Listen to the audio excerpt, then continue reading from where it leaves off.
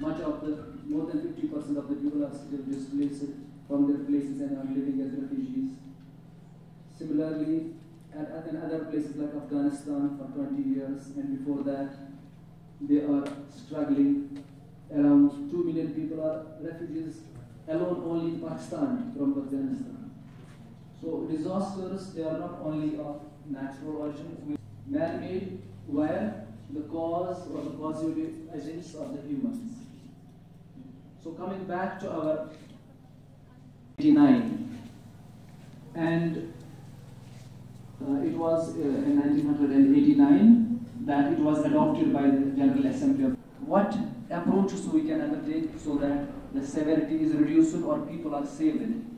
One of the important is early warning systems, isn't it? So that people can get timely messages and they can evacuate those areas. So in 1989, this day was started, and in 1995, uh, um, meeting took place by the members and they set targets regarding the disaster risk reduction.